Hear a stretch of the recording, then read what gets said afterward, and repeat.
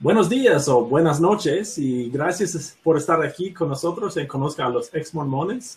Soy Aaron Tunel, estamos aquí esta noche con uh, nuestros amigos uh, Luca y Nadia, que son de, bueno, voy a dejar que, que ellos digan de dónde son y, y, su historia y todo eso. Y pues adelante, vamos a empezar. Si, si pueden compartir un poco acerca de ustedes y su historia en la iglesia. Bueno, donde se encuentran, pues nosotros somos mexicanos los dos y pues básicamente nos conocimos dentro de la iglesia. Yo me bauticé a la edad de 21 años, ya un poco grande, más con más edad de lo común. Entonces fue ahí donde pues me fui metiendo al, al, al mormonismo y conociendo pues más, eh, queriéndome meter cada vez más en, en, su forma de ser, en sus protocolos y, y, buscando como una pareja como debe de ser, ¿verdad? Según la iglesia. Uh -huh. Entonces, eh, pues no me bauticé muy chica. Ingresé con los jóvenes adultos solteros, participaba en sus conferencias y ahí fue donde conocí a mi esposo. Eh, después de algunos meses nos hicimos novios y, y pues nos casamos. Sin embargo, antes pues yo sí estuve a punto de decidir irme a la misión y pues también eso hubiera cambiado muchas cosas. Oh, wow. Estabas por, por hacer una misión, eso es, eso es grande. sí. sí. No, yo no la dejé, dije, no, tú no estás ahí. Él me dijo que no me iba a, a la misión y yo creo que tenía unos planes como que yo no lo sabía. Pero... sí. sí, pues no, a grandes rasgos, así fue como mi esposa vivió. Pues yo no, yo, yo me bauticé a los 15 años de edad era prácticamente pues un niño inexperto que pues, no conocía muchas cosas, pero pues tenía el deseo de, pues, de seguir a Dios, como, como comentábamos, pues yo leí la Biblia y ahí me di cuenta de que pues, verdaderamente necesitaba una iglesia o algo en que creer y pues en mi búsqueda me encontré con, el, con los misioneros mormones y, y pues me fascinaron con su plan de salvación, con los profetas, con los apóstoles, con la familia. Pues yo siempre había querido una familia como, pues mi familia es un poco disfuncional, entonces siempre estuvimos algo retirados, distanciados, pero pues yo quería un futuro para mí y dije, no, pues aquí es el lugar, el lugar correcto, como utilicé más mi razón. Que, bueno, que Luca, tú me dijiste cuando hablamos antes, me hablaste acerca de algo que pasó con tu abuelo. ¿Podrías hablarnos, hablarnos un poco acerca de eso? Ah, ok, mi bisabuelo, él siempre nos inculcó la religión católica. Entonces, pues un día, un, un fin de semana, se puede decir unas vacaciones, eh, me, quedé, me, quedé, con él acompañándolo porque él esto, siempre se enfermaba un poco, me acuerdo de su edad, ya estaba grande. Y él tenía su Biblia y yo recuerdo que para no aburrirme, pues la comencé a leer. Comencé, comencé y no, yo creo en una semana o dos leí el Antiguo y el Nuevo Testamento. Entonces cuando wow. acabo de leer el Nuevo Testamento me doy cuenta que, ah caray, pues había profetas, había apóstoles y, y Cristo deja leyes, pero como les comentaba, como era un joven, pues era un niño prácticamente, pues no entendía las escrituras, como no las entendí, porque pues ahí decía que, que Cristo llamó apóstoles, profetas, y pues yo pensé que todavía tenía que seguir llamando profetas y apóstoles, y esa fue siempre mi pregunta. Y pues yo, como les comento, yo conocí el, a, a, los misioneros mormones después de, de irme de con mi bisabuelo, y pues les digo, ellos empezaron a enseñarme y yo dije, ah, caray, pues yo creo esto es lo que yo estoy buscando. Y esa fue una de las razones por las que me bauticé. Me, me, pidieron que orara para ver si José Miguel era un profeta o no. Yo oré y todo, pero prácticamente yo no sentí nada. No sentí ninguna ardor en el pecho, no sentí así maravillosamente, no sé cómo dicen, manso, humilde, o no, no sentí nada de eso.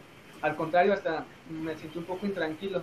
Pero cuando les expreso eso a los misioneros me dicen, ah, hermano, es que usted oró mal, como no oro bien, oro con fe. Ah, me da risa esa, esa excusa, siempre. Bueno, estoy, estoy mal, entonces me analizo y es un buen lugar para crecer. Y. Es, es como que usaste, vamos a decir, la razón, uh, el razonamiento que habías adquirido a, a, través de las escrituras para ser luego convencido por los misioneros, porque ellos, ellos llegan con, con un paquete bastante completo, ¿no? Todas las respuestas y todas las escrituras, entonces un joven de, de, 15 años pues no tiene defensa contra eso. Sí, exacto, como ellos, de acuerdo que en una, antes a mí me tocaban las, las charlas, las memorizadas, que era principio por principio, así, todo de memoria. Entonces recuerdo que una vez cuando les expreso mis dudas, uno, el del Page, me dice, pues es que hermano, usted ahorita está conociendo la verdad y, y si no acepta la verdad, entonces pues puede pasar que se pierda o algo. Y yo dije, ching, no, no, pues no me quiero perder. Mejor me, me, bautizo y a lo mejor ya estando en la iglesia, yo pensé que podría darme cuenta que pues que José es un profeta o algo así por el estilo. Sí, pues, sí, con el tiempo que... Exacto, exacto, te entiendo. Me embarqué, me embarqué en el mormonismo. ¿Y, ¿Y, qué pasó después de eso? ¿Qué pasó? Pues mi papá, hijo, no, tuve mucho, mucho problema con mi papá. Como mi papá siempre, siempre ha sido un hombre muy duro. Entonces, él no, no me quería dar permiso para bautizarme. Yo antes que en este entonces yo, yo jugaba soccer. Entonces él decía que iba a echar a perder mi futuro, como bautizándome ahí, iba a perder mi...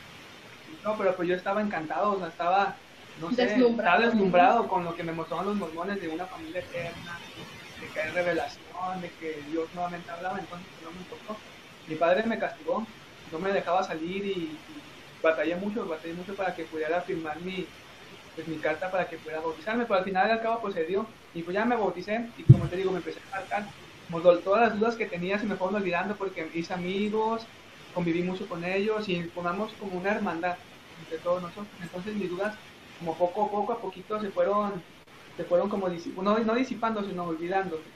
Sí. Se mis dudas acerca de José Mil, mis dudas acerca del sacerdocio, porque me empecé a enfrascar en las actividades sur, en las mutuales, en seminario, asistía, asistía a seminario y pues poco a poco se me fui como olvidando de mis dudas.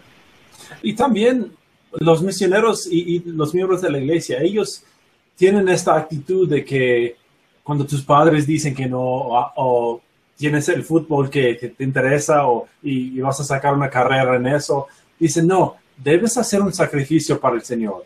Haz el sacrificio, no juegues los domingos, no, no hagas eso, no, no, porque debes ir a la misión y tus padres están engañados por, el, por Satanás y y, debes sacrificar, siempre sacrificar para la iglesia y, y como una persona, entre comillas, llena del Espíritu, pues quieres hacer esos sacrificios, ¿no? Quieres mm, darlo todo por el, Señor, ¿no?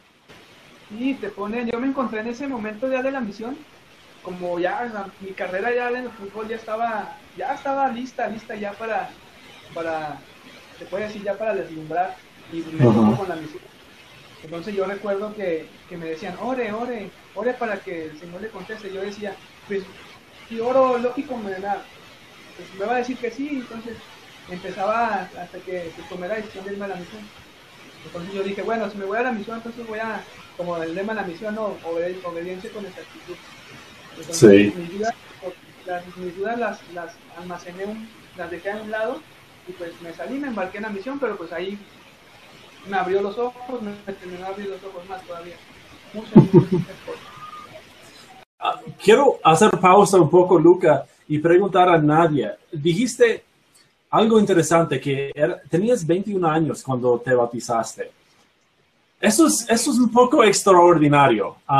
normalmente son, somos, bueno, los misioneros tratan de, de bautizar a las personas jóvenes, y, son mucho menos las personas que se bautizan viejos. Que, explícanos eso. ¿Cómo, fuiste, ¿Cómo pudiste ser engañada? Sí, en realidad eso fue. Yo creo que fui víctima de las circunstancias porque me encontraba fuera de mi casa, de mi familia y, y tenía que hospedarme en algún lugar. Entonces ese lugar en el que me hospedé, pues estaba siendo visitado recientemente por misioneros. Entonces yo no los aceptaba al principio, se me hacían bastante raros. Y decía, pues de, seguro ni siquiera creen en Dios o no sé qué tipo de Dios crean. La verdad, pues estaba en lo cierto sin saberlo. Entonces, yo no aceptaba, los rechazaba. Hasta que me convencieron, escúchelo, así no pasa nada. Eh, decidí escucharlos y pues empecé como que a, a tomarle algún sentido, como que dije, pues parece ser cierto, el plan de salvación se me hacía muy, lógico, ir algo antes, una vida premortal y pues ese tipo de cosas. Entonces me llamó la atención que pues yo los invité a ir a mi casa, a donde yo vivía con mi familia, y me empezaron a, visitar, a enseñar, y pues tomé la decisión de bautizarme, pero no fue fácil porque yo nunca tuve ninguna religión, nunca creí en nada. Y, pues a mí se me hacía bastante, un cambio muy drástico. De hecho, nadie lo creía. Cuando supieron que me bauticé, nadie lo esperaba de mí. Y fue algo muy extraño. Entonces, yo creo que el hecho de haberlos encontrado en un lugar que no fue mi casa, yo lo tomé como una señal de que a lo mejor Dios me, me fue, o yo lo fui a encontrar en un lugar en el que pues no era común. Y, y ese fue como un testimonio para mí, por así decirlo. Entonces yo dije, pues es, es la iglesia verdadera, tal vez estoy en el camino. Yo todavía tenía dudas, pero ya cuando entras en, en esa sociedad, eh, hay un momento en el que no, no te puedes regresar porque empiezas a aprender más cosas y empiezas a aprender que si ya, ya supiste la verdad y luego te alejas, pues te condenas o... ¿Sí? Tienes amigos y las amistades, pues ellos saben que tienen que hermanar y como que te buscan y, se hacen muy amigos tuyos para que no te vayas. Y también eso tiene mucho que ver. Llega un momento en el que no tienes una vida fuera de la iglesia como que ya tienes tantos amigos ahí y que te quieren porque pues sí se da, que te aprecian mucho. Ya no te y, tienes toda, toda la razón. Los, los misioneros, ellos presentan una familia extra, más o menos. La iglesia es como una segunda familia. Y si tú como mujer joven está fuera de casa, está lejos de sus, sus padres o hermanos o qué sé yo, y estas personas vienen y te abrazan y, y realmente puedes ser parte de, la sociedad, eso proporciona algo al, al ser humano que, que, nos llena un poco, nos, nos hacemos sentir partes de la sociedad y eso es algo, ellos usan eso, yo, yo pienso, para, para tratar de como agarrarte y... Obviamente calculado. sí, sí. Eh, eh, y no quiero decir, de hecho, hablando de eso, es bueno tener una sociedad es lindísimo uh, es tener amigos y tener gente que te ama y todo eso. El problema es ese detalle que mencionaste, que te dicen que te vas a condenar si sales. Esa condenación, ese temor de salir. Estás muy a gusto ahí adentro, pero también tienes eso en la mente de que tampoco puedes salir. Es son como, como esposas de oro, los llamamos nosotros Estás... a sí. Entonces, te vas dando cuenta de las mismas escrituras, de, cosas que, de las consecuencias que pueden haber y también de cosas que nunca te imaginaste cerca de la iglesia porque hay cosas que no son, que no parecen ser ni siquiera de Dios. Entonces tú dices, esto no lo pude saber antes. Lógicamente por eso no me lo enseñaron y a esta falta después vas descubriendo cuando ya no puedes regresar prácticamente sí. Estás condicionado también, estás listo para aprender esas cosas profundas, entre comillas. Pero entonces, entonces, Luca, regresaste de la misión y nadie estaba ahí. ¿Se conocieron de una vez después de la misión? ¿O, qué, cómo se juntaron ustedes? Y, y explíquenos los dos, ¿qué pasó después de eso? Pues cuando yo regreso de la, de la misión, tuve que mudarme a Mexicali, a Baja California, porque mis padres se cambiaron a esa ciudad. Entonces, pues regresé con ellos, pero no me gustó, la, la verdad no me gustó la ciudad, entonces regresé a Gómez, a Durango. Y cuando regreso a mi barrio, el obispo me informa que va a haber una conferencia CAS. Yo digo, ah, la verdad no quiero ir porque me da flojera, decía, me da mucho, me da flojera, no me llama la atención. Pero me dice el obispo, vaya, vaya, yo le voy a pagar su boleto donde le vaya. ah, para eso, sí. Y pues ahí, ahí conocí a mi esposa. De hecho, ahí, pues, un compañero, un amigo mío de, de, hombres jóvenes también regresó a la misión. Entonces, pues me estuve platicando con él y, y pues lo, lo, quise integrar porque todavía venía muy manipulado, como pensaba que divertirse era del diablo o que iba a perder el espíritu, cosas así por el estilo. Entonces me lo llevé con mi esposa y sus amigas y pues ahí la conocí. Ahí ya ah. a platicar y un tiempo después nos hicimos novios, en, a grandes rasgos. Porque mi esposa puede contar otra, yo puedo contar una y ella otra, cada quien lo vivió diferente. Sí, pues sí, desde mi punto, como mencionaba, eh, yo estuve a punto de decidir irme a la misión.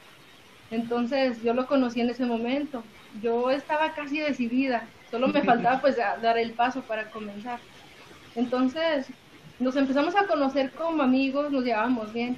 Y él me decía, tú no te vas a ir a la misión. pues, ¿qué piensas que no soy digna o que no puedo? y, me cayó mal en ese momento. Es que él tiene el, sacerdocio, nadie, y tú no. Entonces, pues se fueron dando las cosas y tuvimos una relación de pareja, pero antes se puede decir que en estos momentos estoy casada gracias a la iglesia o a consecuencia de la iglesia. Sí, incluso la iglesia pues influyó en mi decisión de, formar una familia, de casarme, porque yo antes no, ni siquiera pensaba en, casarme joven. Joven me refiero a los 22, 23 años. Pensaba terminar mi carrera, seguir estudiando y ya por ahí de los 30 pues ya tal vez casarme. Entonces me bautizo y pues después de un tiempo quiero seguir el protocolo mormón, por así decirlo, de casarte, tener una familia, tener hijos.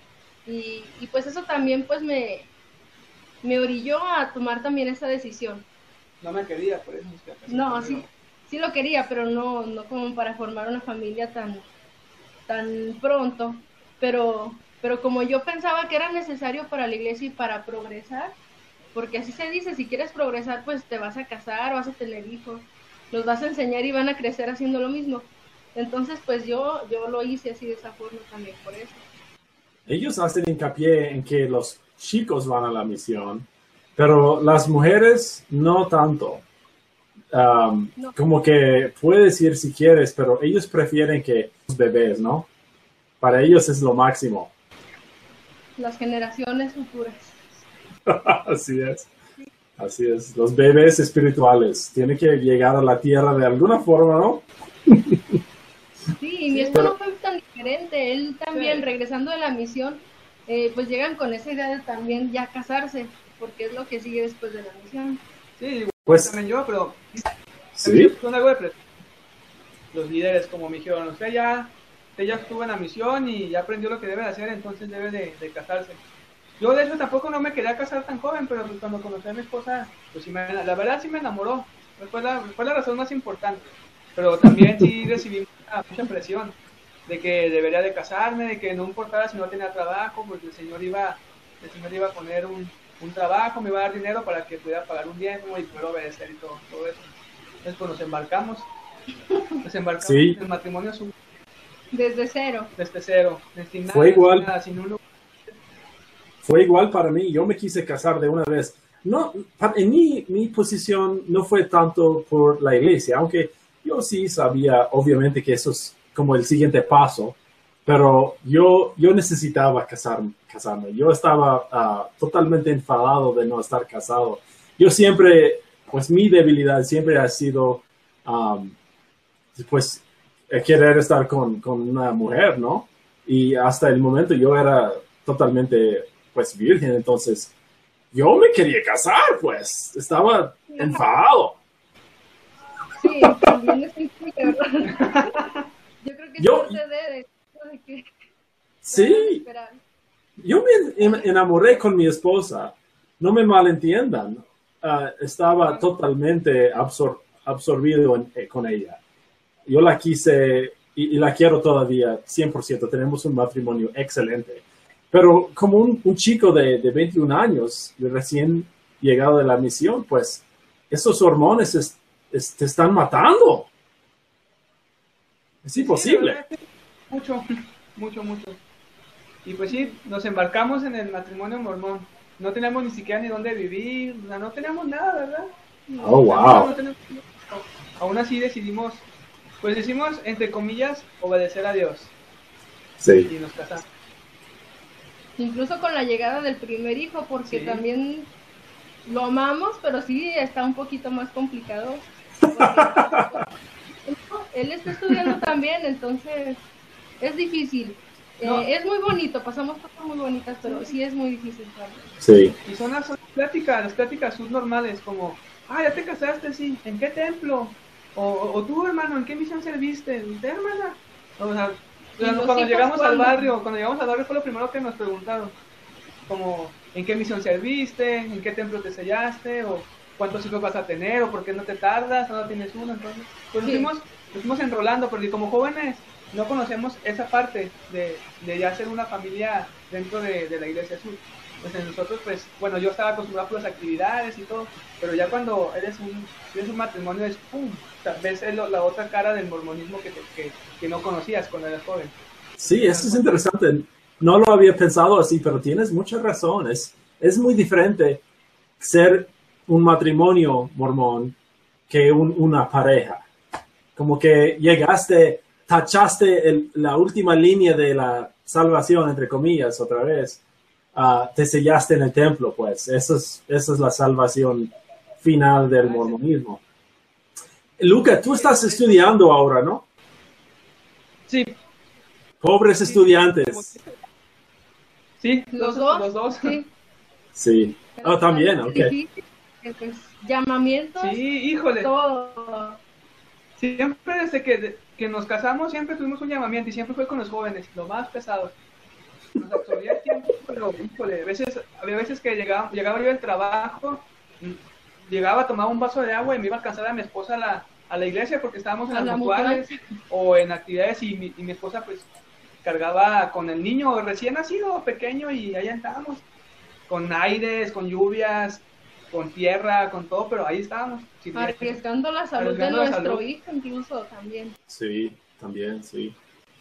Ah. cuando, casamos no nos sellamos rápidamente porque duramos un, año, más o menos un año sin asistir a la iglesia por cuestiones de mi trabajo. Como yo mm. trabajaba los domingos, entonces mi esposa pues no quería, no quería ir sola porque decía, pues ¿cómo, cómo voy a ir sola? Te voy a esperar. Iba ocasionalmente. Y, recuerdo que era tanto nuestra, nuestra meta estar sellados, como porque te, te plantan eso en la cabeza, como si no estás sellado no vas a tener tu familia, te vas a perder y te vas a ir con el diablo. Entonces yo por mi trabajo no podía, no, no, podía asistir a la iglesia, me absorbía todo el tiempo. Y, era tanta la, bueno, yo lo tanto lo, te podría decir, ¿cómo lo podría llamar? Manipulado, que, que tenía eso en la cabeza, no me sentía a gusto, tenía pesadillas en la noche, no dormía porque pensaba que me estaba perdiendo y iba a perder a mi esposa y a mi hijo. Entonces, recuerdo una vez, mi esposa estaba embarazada de nuestro hijo, de, Lisandro, de David, y, yo llegué y le dije, amor, ¿sabes qué? Ya no voy a trabajar a partir de mañana. Y recuerdo la cara de mi esposa así como que, ¿qué? ¿Qué me dijiste? ¿Por qué no vas a trabajar? Y yo estoy embarazada y el niño, y, yo me acuerdo que le dije, no, pues es que, eh, yo le dije, el Señor me reprendió, y, yo siento que debo, wow. debo a la iglesia. Y así, dejé el trabajo así, como si nada, y al siguiente domingo fuimos a la iglesia y pasaron una semana. Encontró trabajo. Y, encontré trabajo rápido y eso me ayudó a, según yo, convencerme de que estaba haciendo lo correcto. Sí, claro. Y, y, pues ya pasó un tanto tiempo para estudiarnos, unos meses. Y fue muy difícil, la verdad batallamos mucho porque pues somos no, no, no contamos con mucho dinero porque lo poquito que yo gano en mi trabajo, pues se va en sus pasajes de la escuela, en su material, en mis pasajes, en la comida, los pañales del niño. Entonces, batallamos mucho, la verdad, mucho para, poder juntar para, pues, para un pasaje para el templo, mi esposa en su caso para su ropa, su, ropa ceremonial, sus carnes, pero pues nosotros pensábamos que teníamos fe y que íbamos a ser bendecidos y hicimos un gran sacrificio, juntamos dinero de de donde pudimos, ¿verdad? De hecho, de nuestros gastos para la comida y todo eso lo utilizamos y, nos enfocamos al, al sellamiento. Sí, sí, fueron muchos sacrificios los que hicimos. Ah.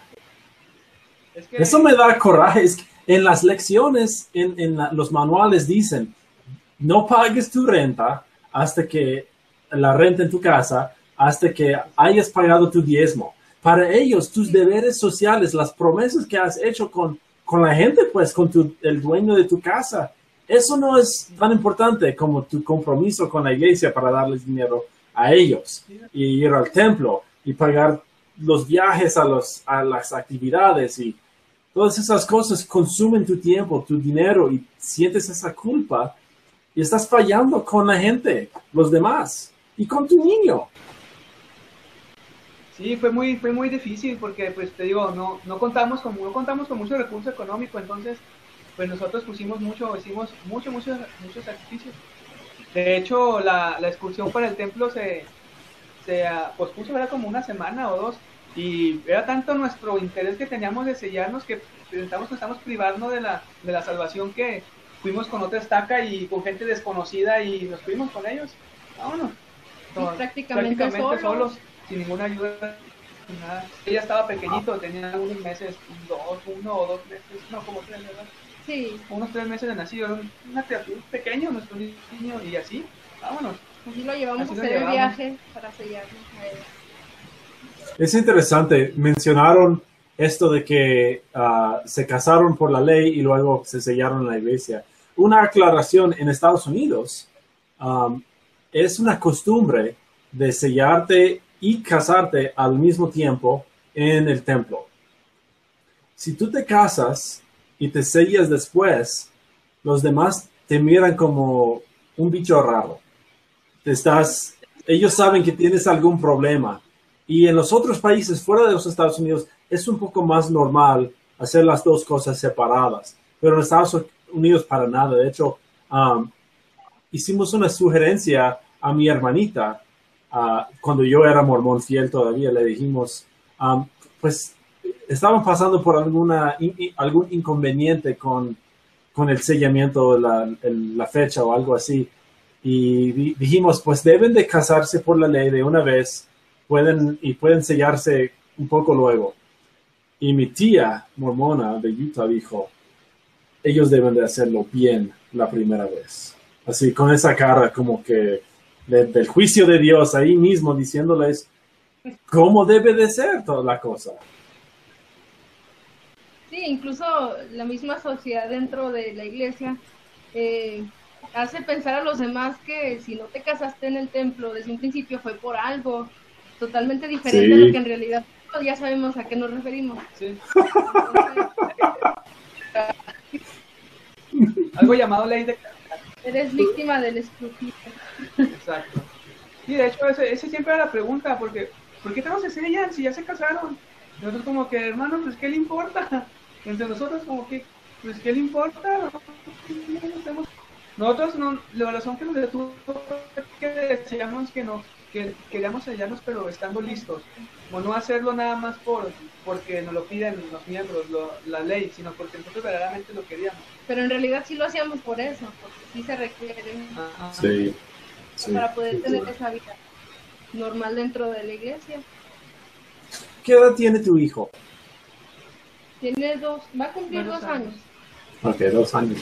Él es muy chico, pero recuerdo que cuando nosotros salimos, yo tengo un, hijo de nueve años y otro de siete, y para ellos fue un golpe grande uh, cuando nos vieron hacer cosas que habían dicho a ellos que estaban mal.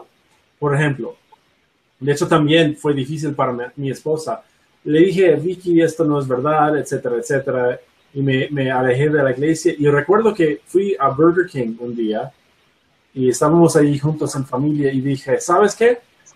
Voy a tomar un té el día de hoy. Y todos como, ah, no, no lo hagas, no lo hagas. Pero tomé el té y no me gustó. Pero eso fue un golpe y tuvimos que tener, hacer una larga plática con los hijos, con mi esposa, hablando de que no es del diablo. Y tuvimos que pasar por eso cada vez. Cada vez que algo hicimos que, no estaba alineado con lo que los niños habían aprendido. De hecho, hasta el día de hoy, um, mencionamos, mi esposa y yo estábamos jugueteando con la idea de darnos unos tatuajes. No lo hicimos, pero los niños estaban bien preocupados, bien preocupados. Dijeron, no, no lo hagan, papi, mami, por, porfa, no, no, no, no quiero que hagan eso. Y pues vemos, porque son niños y no saben, tenemos que, se, lavaron el, se les lavaron el cerebro y fuimos parte de eso. Y ahora tenemos que como, no quiero decir ensuciar el cerebro, pero tenemos que como tratar de, de hacer reversa a, a, ese condicionamiento que, que recibieron. Pero es bueno que no va a pasar eso con ustedes. Eso fue Pero, No lo va a recordar. Sí, no, no lo va a recordar. Bueno, Sí. quedaron cosas buenas. Él aún se interesa por orar antes Sí. de comer y ya está con sus manitas y sus ojos cerrados. Preparadísimo. Nosotros todavía oramos sobre la comida, entonces ha- hay ciertas cosas que, que no pasan cuando o, o no dejan de, de pasar cuando sales de la iglesia, pero es la actitud es diferente ahora. Um, no lo hacemos ahora tanto como un paso, sino como un, un agradecimiento más por tener la comida, etcétera, sí, algo más sincero.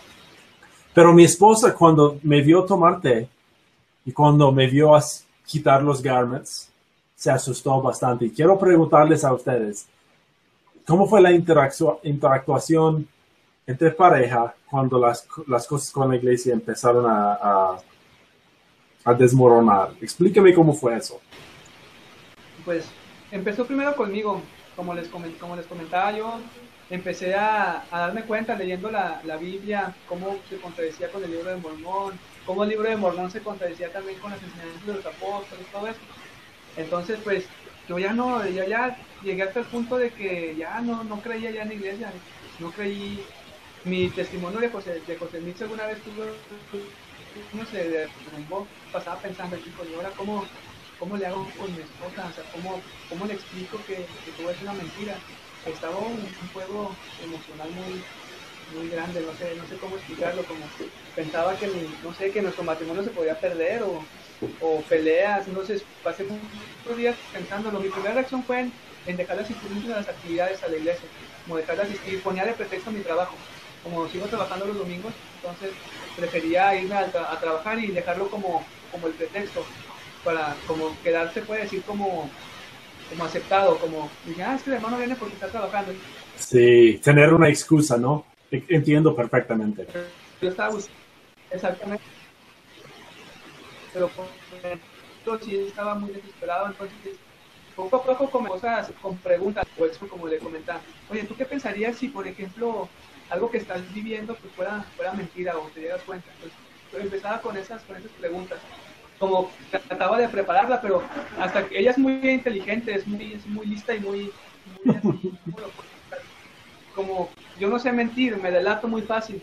Entonces hasta que ella, ella, ella me dijo como, ¿qué me estás tratando de insinuar? O sea, ¿qué, qué me quieres dar a entender? Y pues yo le dije, pues bueno, ya voy a ser claro, la verdad yo ya no creo en la iglesia. ¡Pum! Explotó la bomba y Sí. una discusión, peleas, y mi esposa, pues lo puede explicar mejor ella, la parte suya.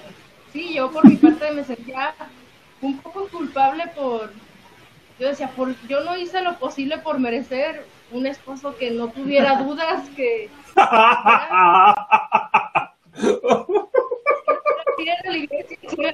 yo decía, ¿por qué mis amigas lo tienen y yo no? Yo fui que no. No es Ah, esperaba. es perfecto, es exactamente. Sí, Qué, qué sincero, es, es lo que sientes. Mi esposa me dijo lo mismo, me dijo, "Eh, yo no me merezco esto, yo no he hecho nada mal, No, tienes toda la razón.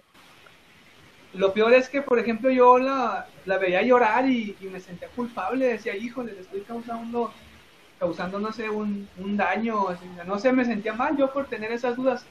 Es cuando, cuando empezamos mucho a discutir y a pelear por cualquier cosa, por, pues por culpa de eso, de, de- pues del mormonismo, se puede Sí, decir. o sea, en este punto para mí la iglesia era muy importante, era parte de mi vida, era algo que con lo que yo iba a morir, entonces que para él ya no significara nada y que ya no creyera en eso, para mí era pues devastador, yo incluso llegué a pensar en que él ya no me convenía a mí, que ya no iba Sí. a, a poder estar con él porque no me iba a llevar a ninguna parte. O sea, lo que yo pensaba que tenía que ir al, a la exaltación, por así decirlo. Sí, Entonces, claro. ya no sé, pues yo dije, tengo que a lo mejor dejarlo. No sé. ¿Te, te, te lo sugier- sugirieron los líderes también? No, no, lo habla- no hablaron de eso. Cuando ellos se enteraron de, de estas cosas, ya fue cuando nosotros decidimos dejarlo, ya no ir. Y pues a partir de ahí cambiaron muchas cosas para bien. Y ellos ya, después de algunas cosas que suceden, pues deciden ya no buscarnos más. No sé por qué. Estamos, estamos vetados para los miembros del barrio, somos portadores de Satanás, nos llaman. Bueno, al menos yo, por ejemplo, yo siempre he sido una persona honesta, que no, nunca me he quedado callado. Entonces, cuando yo descubro todas las mentiras, con hechos, con reales, con Biblia, con libro de Mormón y escrituras, pues yo voy y le digo a los líderes, como sabes que estás mal, yo, y yo ya no quedo, hablamos con los obispos, ¿recuerdas? Sí. Le pedimos que nos relevara de nuestros llamamientos porque no estábamos a gusto y, y cuando relevó y nos, nos dio una que no quería, porque él, sabía que al momento de, de, quitarnos una obligación iba a ser más fácil que nos fuéramos. Ah. más a cargo de, y menos de los jóvenes, pues no, no teníamos eh, el deseo de enseñarles nada que no fuera verdad. Yo soy exactamente como tú, Luca. Cuando yo me entero de, de alguna cosa que me molesta, yo lo hablo y no me callo no lo guardo en el, en el estante. Yo, yo me meto en la pelea para decir, oye, tú me, me guiaste por mal camino y esto no es verdad y, escúchenme y todo eso, debemos hablar de esto y tratar de, corregir la cosa. No me callo y, es una debilidad un poco quizás, pero, pero es mi personalidad yo creo y, la tuya también aparentemente. Yo comencé a, no, no a contender, sino como quería sacar la frustración que traía en mí, como sacar todo el, el, dolor, el dolor, el dolor que me sentía al, saber que me habían mentido por mucho tiempo.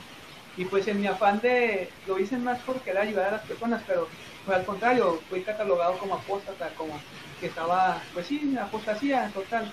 Pues simplemente por hablar las cosas que verdaderamente pasaron, cuando, como decimos aquí en México, pues no, no callarnos en la boca. Entonces, pues empecé a publicar cosas en mi muro de Facebook y empezaban los ataques, digamos. Y entonces los miembros diciéndome como los que se consideraban mis amigos, pues me dieron, me dieron la espalda, como se olvidaron así de simple. De hecho son pocos los, los miembros que aún nos hablan, ¿verdad? Porque los demás como nos, nos condenaron. Empezamos a recibir visitas y una, una visita que me enfadó mucho fue que nos dijeron así en, mi propia, nuestra propia casa que nuestra familia se iba a perder, se iba a ir al infierno y nuestro hijo se iba a perder para siempre.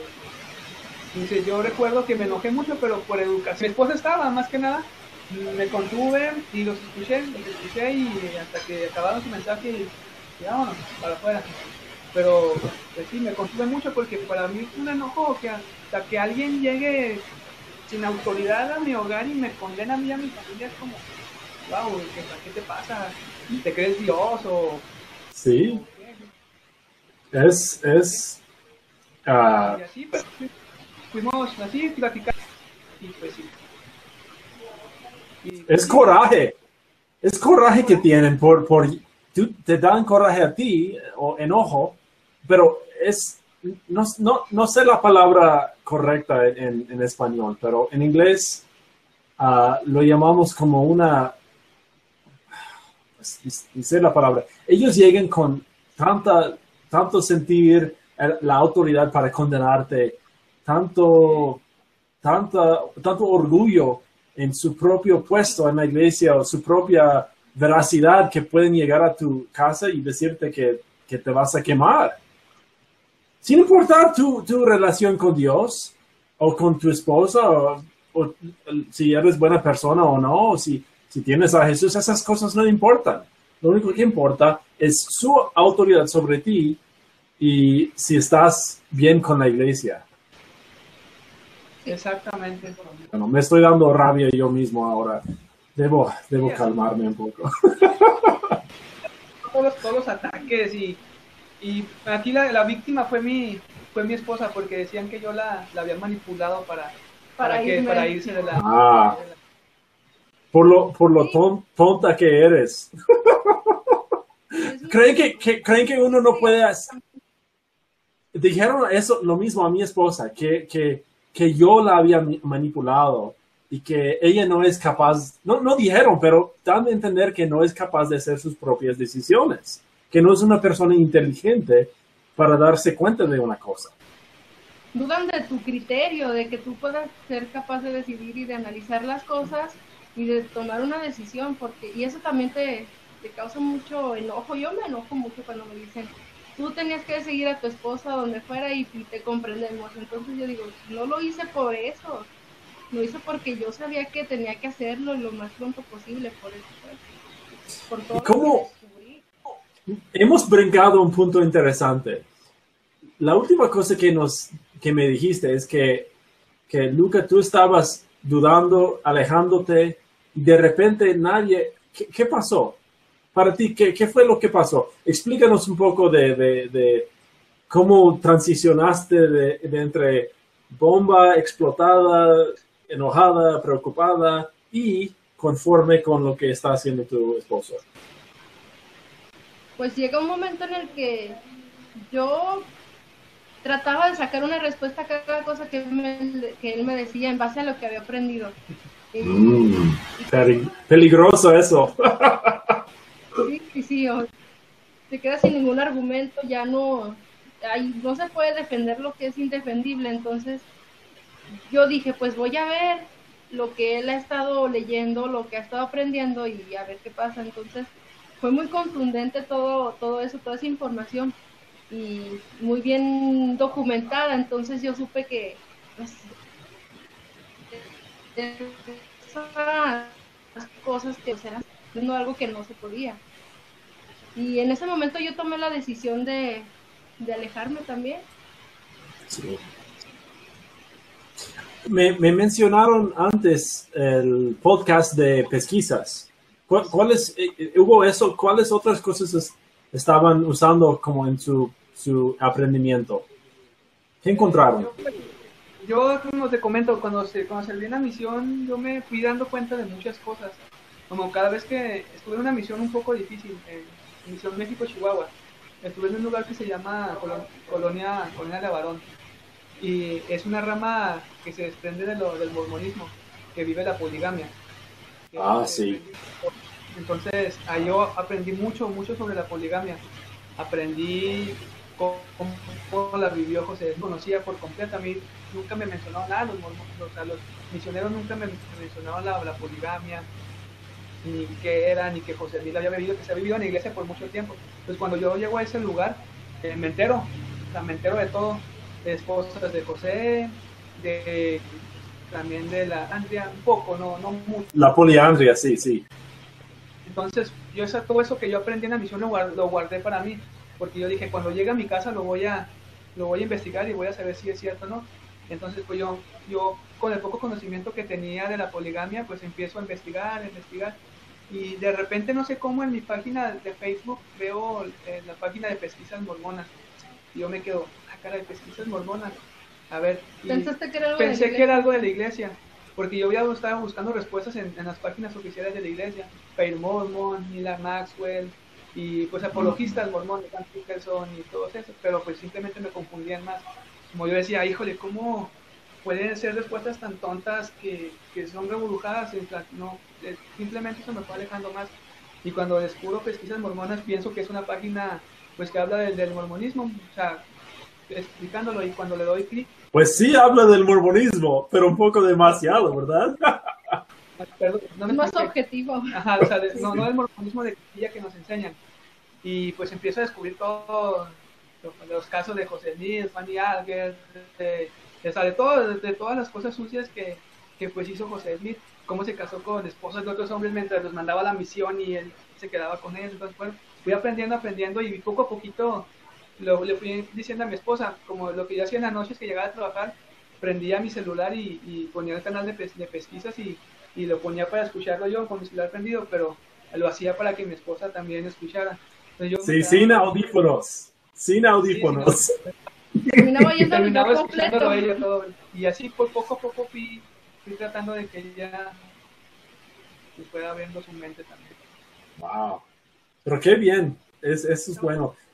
En inglés existen muchos recursos. Una vez que sales del, del cubo de la iglesia, hay muchos recursos para buscar información en, en, inglés. Pero hace, no sé por qué, pero como que el, mundo latinoamericano como que no ha, no ha entrado en eso todavía, ¿no? no se han dado cuenta. Y yo creo que pesquisas es la, la punta de la flecha en, en eso. Ellos están, él es Manuel, el trabajo que él ha hecho es bastante completo, bastante completo. Sí, es muy, muy, de hecho cuando contacté a Manuel, de hecho no sabía que él, era el que hacía el, pues, el podcast. de pesquisa, yo pensé que era un miembro igual y pues platicando con ella, pues me fui, me fui sintiendo más en confianza, ese grupo es, fue mucha confianza porque cuando yo entré a ese grupo todavía, todavía quería aferrarme, aferrarme un poco al mormonismo, aferrarme, bueno, pero pues estando dentro de ahí conocí personas con las mismas experiencias que nosotros, a Gilmar, a Manu, a Valia. Sí. Entonces empezamos a, compartir puntos de vista y pues fue, fue como poco a poco pues ya nos pudimos ya ir sacándolo poco a poco porque cuando si le comentaban a los miembros pues no, imagínate. Sí, darte cuenta que no estás solo en, en todo esto, eso ayuda bastante, bastante. Tener una sociedad secundaria. Sí. Les quiero preguntar. Sí, dime. Sí. Es cuando, cuando sales de la iglesia vives un duelo. Y a nosotros, a mí en lo particular, me ayudó mucho el grupo de, pesquisas porque conocí gente que eh, vivía lo mismo que yo y eso me ayudó como a salir adelante y también a darme cuenta de que hay muchas cosas fuera de la iglesia y mucho mejores. Sí, o sea, que la vida, la vida está ahí, simplemente no la queríamos ver. Pero sí fue, sí fue muy difícil dar el paso para dejar eh, pues, el mormonismo atrás. De hecho, hace poco les, dimos la mitad de 70, ¿verdad? Sí. A nuestra casa. Entonces, ¿Y? Pues, espera, ¿pasó qué? No entendí. Ah, cuando después de que empezamos a, cuando nos empezamos a alejar un poco de la iglesia y yo empecé a, a pues, exponer, porque, o sea, hice mis notas de por qué el mormonismo es verdadero. empecé a hacer mis notitas como, como, ¿cómo puede como para demostrar que la iglesia no es cierto. Y sé, de repente yo recibo una llamada a mi trabajo y es un 70 de área que me dice que, quiere hablar conmigo y con mi familia. Y yo me quedo, wow, pues debemos de ser importantes para que pues, tenga un 70. Y, pues ya le hicimos la visita a su casa, pero híjole, eso nomás sirvió para que nos diéramos cuenta de, pues, que hemos tomado la decisión correcta de, dejar el mormonismo.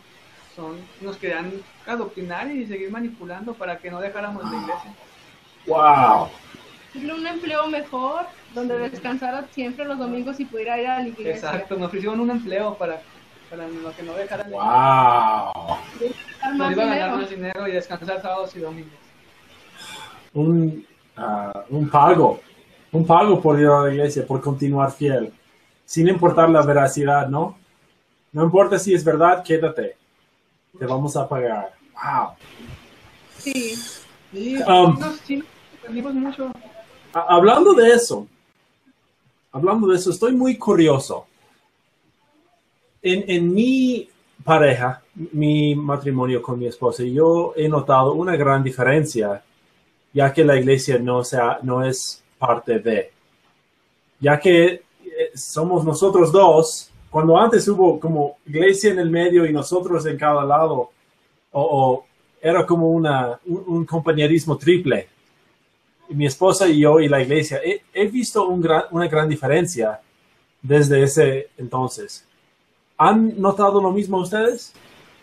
Sí. Sí, demasiado, como ya antes te, te mencionamos, ya no peleamos, bueno, pelea, discusiones normales de pareja, pero hemos notado mucha paz, mucha, mucha tranquilidad.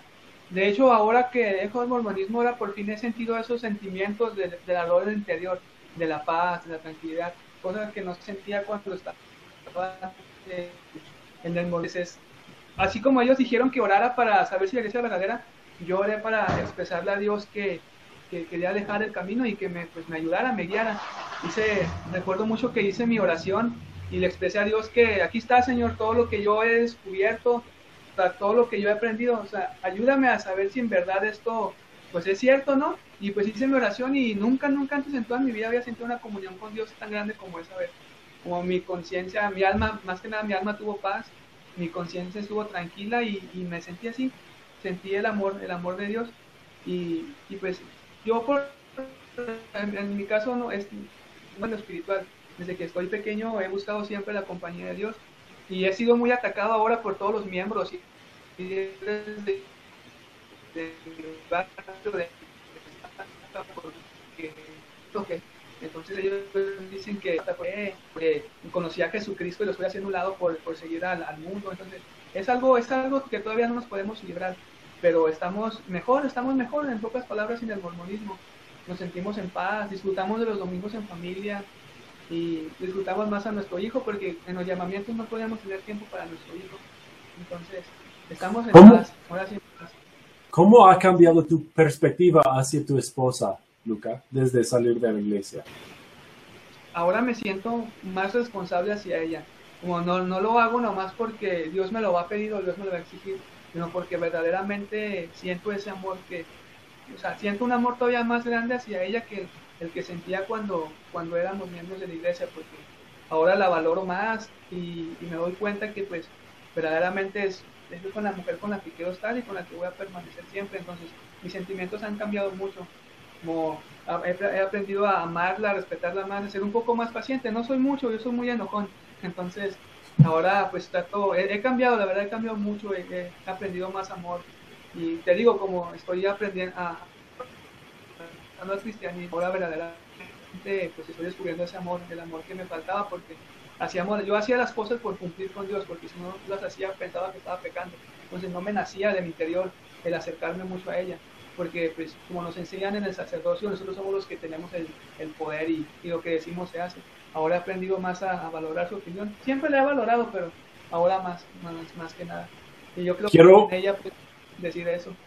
Quiero decir a los que están viendo que Luca y yo no hemos hablado de eso anteriormente, pero me pasó exactamente lo mismo. Y yo no podría decirlo mejor que lo has dicho tú. Yo la valoraba siempre, pero una parte de la relación era porque era mi deber como buen hombre mormón y cumpliendo con Dios tienes que amarla de cierta forma. Y como, como tienes ese patrón de amor y de pareja que tienes que cumplir, y ahora sin la iglesia, como que estoy libre de, de, amarla como yo la quiero amar y de ser una persona transparente con ella y de...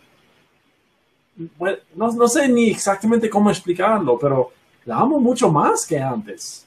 Es casi imposible de explicar cómo eso funciona. La respeto más. Yo, yo sé cómo explicarlo porque sabe cómo. para mí el, el, cambio ha sido radical. Entonces, eh, antes yo tenía muchas expectativas acerca de lo que quería que él fuera. No lo aceptaba porque él siempre fue inquieto y fue buscaba y todo. Entonces, como lo mencionaba al principio, pues a mí me hubiera gustado que él no hubiera sido así cuando estábamos dentro de la iglesia, que él fuera más más obediente, más fiel, que no fuera tan buscador de información. Que me dejara Sí. Sí, entonces después de irnos a la iglesia, mis expectativas fueron más que pues que podamos estar bien, que podamos convivir sanamente y no que sea un tipo de hombre en particular. Entonces eso me ayuda muchísimo para amar y aceptarlo como creo que con él ha pasado lo mismo que conmigo. Y es una forma de explicar ese cambio. Ya no tienes expectativas, ya no quieres que él sea de una forma para poder llegar a un fin, ya quieres que sea como él es, porque eso te ayuda mucho a amar a una persona, que sea sincera. Entonces eso me, me, me encanta y yo estoy muy feliz de haber conocido al esposo que tengo y aceptarlo como es porque me gusta mucho que sea así. Y gracias a eso pues nos salvamos de, de estar como sometidos para siempre en, esa secta. Es, es igual. También dijiste lo mismo que yo habría dicho. Vi, vi, lo mismo entre mi esposa y yo. Yo tenía muchas expectativas para ella eh, y yo quería que ella estuviera leyendo sus escrituras y ella me estaba vigilando por lo mismo, ¿no?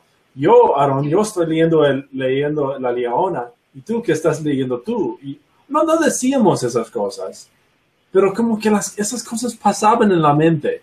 Uno se estaba preguntando siempre si, si estaba cumpliendo con ella, si ella está cumpliendo conmigo, si, si está siendo la, la, mujer correcta según el mormonismo. Y cuando sales de la iglesia, para mí es como que estás eh, eh, saliendo del closet. Nosotros para los homosexuales usamos esa, esa frase cuando se, se um, exponen al mundo quiénes realmente son. Y pasó eso también entre mi esposa y yo. Cuando yo salí de la iglesia, yo empecé a descubrirme a mí un poco más, sin, sin sentirme tan afectado por lo que quería la iglesia. y realmente empezar a buscar quién, quién es Aarón. Y después decir a Vicky, mi esposa, decirle, este es Aarón. Mucho gusto en conocerte. ¿Y me amas todavía? Sí, es igual con nosotros, pasó lo mismo. empezamos de cero, de cero. Entonces estamos ahorita en eso, lo podemos una vida, una nueva vida, porque es todo diferente, ya no estamos atados a, a que los lunes tenemos que tener noche de hogar, a que tenemos que orar a tal hora, tenemos que leer las escrituras. Ahora lo hacemos porque verdaderamente lo, lo queremos, o lo queremos, no porque no, lo estén, no lo estén diciendo. así es. Descubrirnos, o sea, ha sido como se puede llamar un segundo, un segundo enamoramiento. Sí. Es verdad, es verdad. Toda la razón, wow.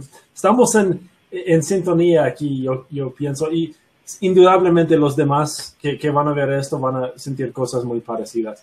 Una, una cosita, una nota, una línea más que quiero compartir aquí, y um, e, esto es algo que yo voy a compartir, ustedes pueden compartir algo similar, pero es parte de lo mismo que estamos diciendo. Yo como hombre, mi debilidad personal siempre ha sido las mujeres. Uh, yo era virgen cuando me casé, pero siempre tenía esa lujuria en mi corazón. De hecho, sigo siendo un hombre con pensamientos así, con esa debilidad. Eso es lo que yo siento que es mi, debilidad más, más fuerte. y mi esposa, debido a su crianza en la iglesia y escuchar los discursos que dan a las niñas y todo eso, ella sintió que era su responsabilidad de que yo fuera un hombre casto, Um, y vamos al templo y ellos dicen en el templo que la mujer se somete al hombre y que hace lo que el hombre dice. Y yo, pues como hombre con el sacerdocio, yo le decía, quiero sexo. Para no ser vulgar, pero le, pedía, mira, Vicky, somos maridos, uh, tenemos que hacer esto y debes estar cumpliendo. Y ella por esa culpa que sentía interiormente de, que debe ser esa mujer um, y que tenía eh, el compromiso de hacerlo y, que básicamente que sería culpa de ella si yo no fuera casto, si yo tuviera problemas sexuales, todas esas cosas que pasaban serían culpa de ella. Y eso causó una quiebra, una, e, entre una, ¿cómo lo llamo? Causó una división entre nosotros porque yo llegué a ser el enemigo. Porque yo le estaba causando un problema interno para ella. No sé si ustedes han pasado por algo similar, pero una parte de la pareja en, nuestra situación se vio responsable prácticamente por la salvación de la otra persona, lo cual causó una, división entre la pareja. ¿Vieron algo similar ustedes? No necesariamente con el sexo, pero, pero ¿sintieron sentimientos así parecidos? Pues, es un poco específico, no sé. Yo creo que a menudo se vive eso. Cuando alguien está haciendo una cosa que no es aceptable y, y tú te sientes como que también tienes la culpa por no, por no ayudarle o por no ser como valga, esa ayuda idónea que te hacen ver que tienes que hacer, entonces sí te sientes culpable. No sé si se aplique, pero a veces mi esposo cuando ya estaba tan desanimado, pues no quería ir a la iglesia y yo me sentía mal como yo decía, yo no soy una buena esposa, no estoy haciendo mi trabajo y no estoy logrando que él sienta la necesidad de ir conmigo a la iglesia. Eh, a lo mejor no, no me porto como muy sumisa, yo nunca he sido así, así de que, de que me someta a nadie, entonces para mí fue muy difícil eso de que debo obedecer a mi esposo y de hecho jamás no, no lo hace. Yo creía que yo tenía que ser más así tal vez para que él pudiera pues también cumplir con lo suyo y sí me sentía culpable bastante. Pero no podía hacerlo, no podía ser sumisa y no lo voy a poder ser nunca. Recuerdo yo mucho que cuando estábamos por dejar, bueno, cuando todavía no quería aceptar la, la falsedad de la, de la iglesia, llegó el punto en que yo le dije como, ¿sabes qué, amor? Pues yo no creo en la iglesia, yo no creo en José Smith, pero si tú eres feliz estando dentro de esa iglesia, pues yo me quedo, digo, me quedo y te acompaño, porque digo, porque te amo y, ya no te quiero ver sufrir como ella lloraba y, y se sentía mal, estaba angustiada su alma porque yo quería dejar la iglesia, entonces era tanto el amor que siento hacia ella que le dije que aunque no crea en esa iglesia, pues yo me quedo, si tú eres feliz ahí nos, pues nos quedamos, pero después ella, pues se puede decir que abrió sus ojos y recapacitó. Y... Es lo mismo que pasó entre nosotros. Sí. Otra cosa interesante que, que pasó es que me quité los garments. les mencioné que, que, tomé el té, tomé el café. Otro de los señales grandes era que cuando me quité los garments. Y luego cuando ella se quitó los garments. Y algo que, que, me di cuenta cuando nos quitamos los garments y empezamos a usar ropa interior normal, en, su, en caso de ella, un poco sexy, pues normal, ¿no? Como usa la gente normal. Yo, yo me fijé que los garments prácticamente también causaban una división física entre nosotros. Yo no podía ver a mi esposa como la mujer que era. Nos acostábamos en esos garments tan feos. Eh, hablan mucho de, hablan de tener muchos hijos espirituales, pero están haciendo todo lo opuesto para que no haya acción en el cuarto. En mi caso sí llega, llegué a sentirme a veces como le comentaba a mi esposo, oye, somos unos diabólicos porque estamos haciendo estas cosas, estamos teniendo sexo y, y yo creo que nada más es para engendrar, le decía yo. Entonces sí había divisiones, como si no, no, no, no, como que no nos, no nos veíamos como el hombre y la mujer que verdaderamente somos, como como no sé cómo explicarlo, pues, pero sí, sí, sí causaba, causaba una, como, pensabas que si hacías esto eras, eras pecador porque, pues, el sexo es para engendrar, o sea, era, eran cosas, cosas que, que pasan, como causaba divisiones entre nosotros, sí. igual, Pienso que los garments servían como una, una división física, realmente porque no te los quitas nunca.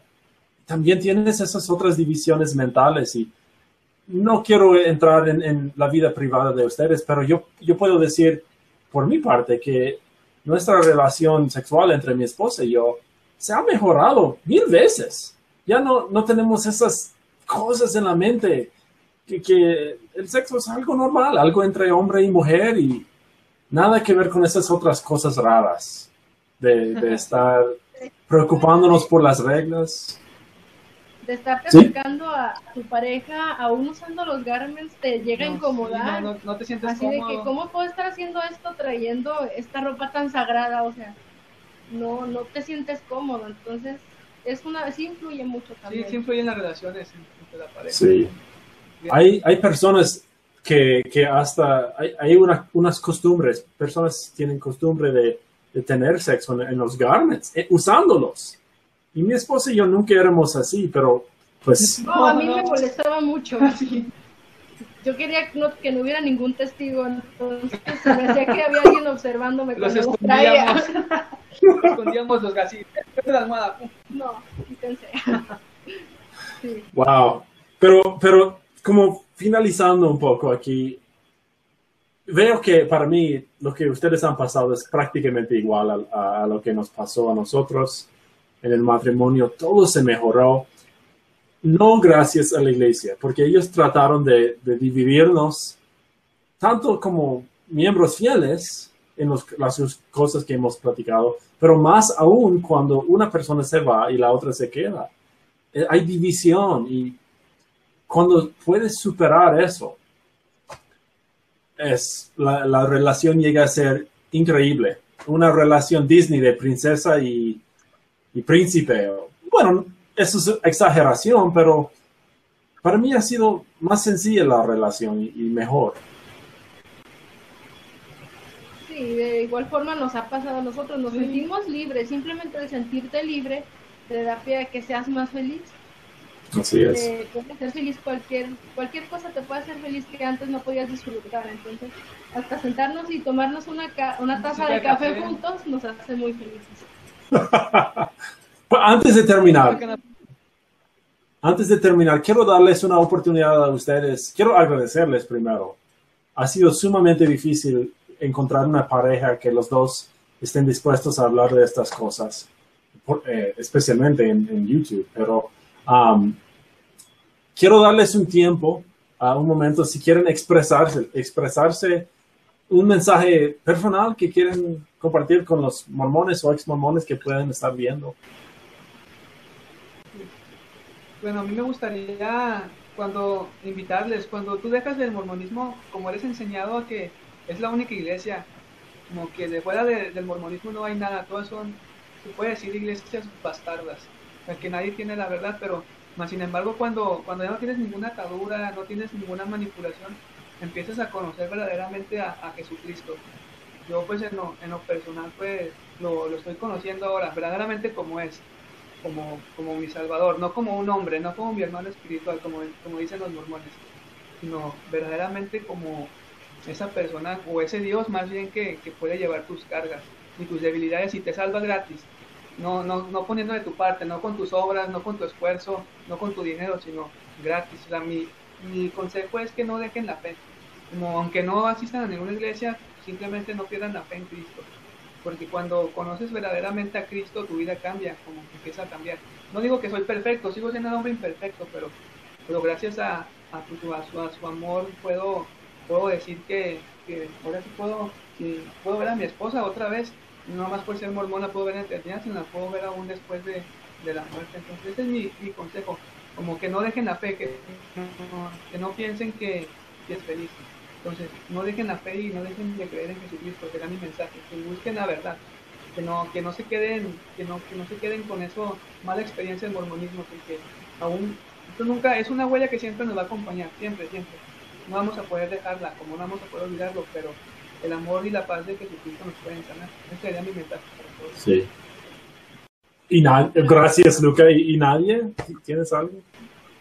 Para mí sería decirles que yo sé que muchas personas ahorita que están como en, el límite de irse o no, eh, que tienen miedo de alejarse de la iglesia, yo solamente quiero decirles que hay vida y hay una vida muy hermosa después de la iglesia y, que se atrevan a, vivirla, a salir de, ese lugar que no, no van a quedar solos para siempre, siempre va a haber personas buenas que van a estar con ellos.